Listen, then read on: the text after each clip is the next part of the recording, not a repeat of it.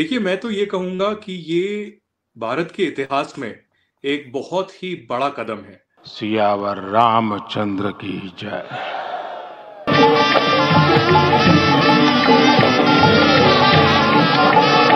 ये इतना बड़ा कदम है कि भारत को जब इंडिपेंडेंस मिली थी, एक न्याय मिला था, फ्रीडम मिला था, उससे मैं इसको कंपेयर करूँगा। ग्यारह दिनों से अपने व्रत के ज़रिए एक तपस्वी की भांति। देर इज़ मैं तो इसको कहता हूँ rebirth of the India in ten years मैं इसको कंपेयर करूँगा uh, पाकिस्तान के साथ जो युद्ध हुए वो भी इससे इस, इससे इससे बहुत छोटे हैं।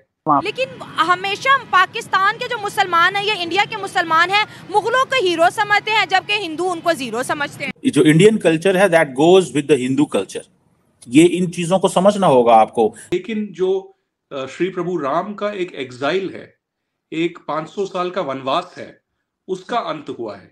तो ये जो तब्दीलियाँ आ रही हैं ये बड़े मैसिव स्केल पे हैं। मेरी एंसेस्ट्री हिंदू से सिख हुए सिखों से मुसलमान things have transformed India is no more an India that was जो पहले था। इन्वेडर थे आए जुल्म किया बहुत जुल्म किया उन्होंने। थोड़ा सा जुल्म नहीं किया बहुत ज़्यादा जुल्म किया। मैं एग्री करता हूँ। मेरे वो हीरो नहीं है मेरे हीरो नहीं है। मैं हम्म। इस पे पहले मैं करेक्शन कर दूँ मेरे हीरो नहीं है हम्म। मेरी नज़र में वो इन्वेडर थे इस लैंड आज गार्डियन जो कि ब्रिटिश एक पेपर है, उन्होंने भी लिखा है और न्यूयॉर्क पोस्ट ने भी लिखा है कि वहाँ से मुगलों की हिस्ट्री को निकाला जा रहा है। मैं मैं ठीक है, निकालना चाहिए उनको, मैं मना, समझता हूँ। माइनॉरिटी थी इन्वेडर थे, आए, जुल्म किया, बहुत जुल्म किया उन्होंने, थोड़ा सा जुल्म नहीं किया, बहुत ज़्यादा जुल्म किया, मैं एग्री करता हूँ। मेरे वो हीरो नहीं है। मेरे हीरो नहीं है मैं हम्म। इस पे पहले मैं करेक्शन कर दूँ मेरे हीरो नहीं है वो। हम्म। मेरी नज़र में वो इन्वेडर थे इस लैंड और जो भी इन्वेडर आता है जुल्म करता है। चाहे वो ब्रिटिश हो चाहे ये हो चाहे वो कोई भी इन्वेडर हो वो आके ओप्रेस करता है। वो इस तरह वो इतनी आसान बात नहीं होती वो उससे डील करना। उन्होंने किया। बल्कि मैं आपको आज आरज़ू एक मैं बड़ी एक और बात बताना चाहूँगा। मैंने अक्सर लोगों को नहीं बताई। मैं भारत बड़ी दफ़ा गया हूँ आज तक ताजमहल नहीं गया। हम्म।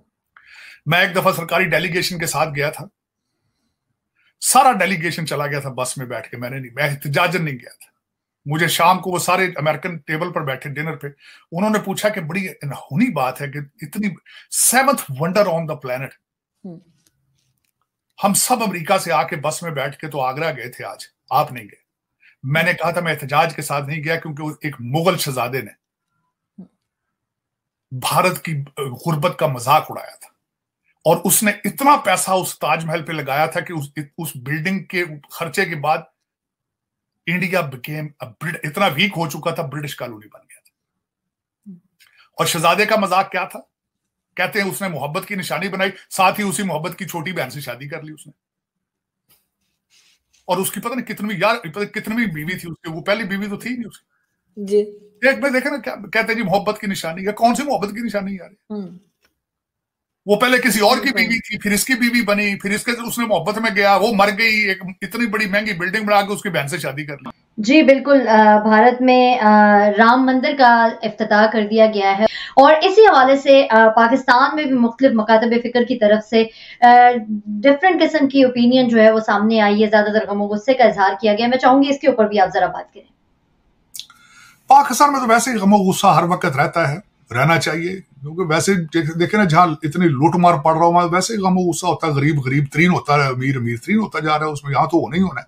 लेकिन आपने कभी सोचा सिंध के अंदर मंदिरों के साथ आप जब करते हैं तो फिर उन, आपको पता नहीं कि उस वक्त जज्बात लोगों के क्या होते हैं?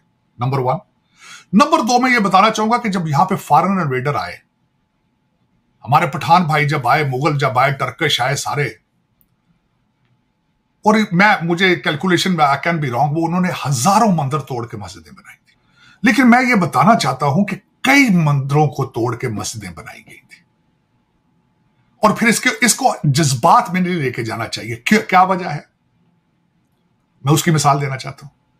मैं अभी टर्की में गया वहाँ अपने चर्च को तोड़ के मस्जिद बनाया है। चर्च को तोड़ के आपने मस्जिद बना दिया वो पहले म्यूज़ियम था आज वो मस्जिद बन चुकी है। अब क्रिश्चियन है उनके अगर वो आपके ऊपर बंदूकें और सारा कुछ अपने सिस्टम लेके चढ़ जाए, आप तो एक घंटा नहीं निकाल सकते, एक मिनट नहीं निकाल सकते जितनी टेक्नोलॉजी क्रिश्चियंस के पास है। तो दूसरा, ये देखना चाहिए, खासकर, मैं बहसीते एक पाकिस्तानी, सबसे पहले सोचना चाहिए, मुझे तो इस बात का पता है कि मेरा बैकग्राउंड क्या है। मैं कभी ये दावा नहीं करता कि मैं अरबों का रिश्तेदार हूँ या मैं मैं मुगलों का रिश्तेदार हूँ। इस खत्ते, सारे खत्ते का मज़हब हिंदू हिंदू मज़हब था सबका हिंदुओं से लोग क्रिश्चियन हुए, हिंदुओं से लोग सिख हुए, मेरी एंसेस्ट्री हिंदुओं से सिख हुए, सिखों से मुसलमान हुए। देखिए, मैं तो ये कहूँगा कि ये भारत के इतिहास में एक बहुत ही बड़ा कदम है। ये इतना बड़ा कदम है कि भारत को जब इंडिपेंडेंस मिली थी, एक न्याय मिला था फ्रीडम मिला था, उससे मैं इसको कंपेयर करूँगा। मैं इसको कंपेयर करूँगा पाकिस्तान के साथ जो युद्ध हुए वो भी इस, इससे इससे बहुत छोटे हैं। ये एक हिस्टोरिकल सिविलाइजेशनल विक्ट्री तो मैं नहीं कहूँगा लेकिन जो श्री प्रभु राम का एक एग्जाइल है एक 500 साल का वनवास है उसका अंत हुआ है। तो मुझे लगता है कि लाखों हिंदुओं की श्रद्धा श्रद्धा का ये मुद्दा रहा कई सालों तक और कई सालों से हिंदुओं को ऐसा भी लगा कि शायद ये दुनिया इसको बुला दे लीगल सिस्टम इसको बुला दे, और जो पॉलिटिशियन भी हैं इसको बुला दे, और हमको न्याय मिले ही नहीं। लेकिन कई सालों तक खुद हम कहते हैं क्योंकि एक भारत के न्याय में, न्यायपालिका में एक चीज़ होती है जिसे कहते हैं जुरिस्टिक पर्सन और श्री रामलला, जो श्री राम है, उन्होंने खुद जो है ये केस लड़ा है। तो उनके रिप्रेजेंटेटिव वीएचपी और बाकी हिंदू ऑर्गेनाइजेशन हो सकती हैं, लेकिन श्री राम ने खुद ये लड़ा है और खुद न्याय जो है उनको मिला है। तो मुझे लगता है अब जो ये श्री राम जन्मभूमि मंदिर वहाँ पर बना है अयोध्या में, ये एक बहुत बड़ा पिलग्रमेज सेंटर बनेगा। मुझे लगता है कि हिंदुस्तान में, भारत में ये एक सबसे बड़ा पिलग्रमेज सेंटर बनेगा, जिसमें लाखों श्रद्धालु आएँगे और ये एक पिलग्रिमेज टूरिज़्म के तौर पे भी आएगा, जो अयोध्या की उत्तर प्रदेश की और भारत की इकोनॉमी में भी बहुत ज़्यादा मदद करेगा। नरेंद्र मोदी के 10 सालों में इंडिया की रीबर्थ जो है वो हो चुकी हुई है और चीज़ें बिल्कुल एक और जो पॉलिटिकल डेवलपमेंट्स हैं इंडिया में वो बिल्कुल एक और अंदाज से हैं और और ये ये जो रिलीजियस नेशनलिज्म है, ठीक है कई लोगों को मैं भी देख रहा था फॉर एग्ज़ाम्पल इंडिया के अंदर लोग कह रहे हैं कि भाई कई लोग इसको पसंद कर रहे हैं। ओके गुड बट कई लोग कह रहे हैं कि नहीं, इससे तकसीम भी पैदा हो सकती है। देर इज़ ए प्रोबेबिलिटी ठीक है जी, कि ये जो ये जो पॉलिटिक्स आरएसएस और बीजेपी की, ये जो पॉलिटिक्स है, इससे तकसीम पैदा हो सकती है। इंडिया डिवाइड हो सकता है। और अब जैसे मैंने आपको बताया है कि ये इंडिया का जो कल्चर है और जो हिंदू कल्चर है they are going to be the same and many people think के नहीं, ये डिफरेंट थे, लेकिन बहुत सारे लोगों को अब समझ लगेगी that they are going to make it one वो कहेंगे, ये एक ही है।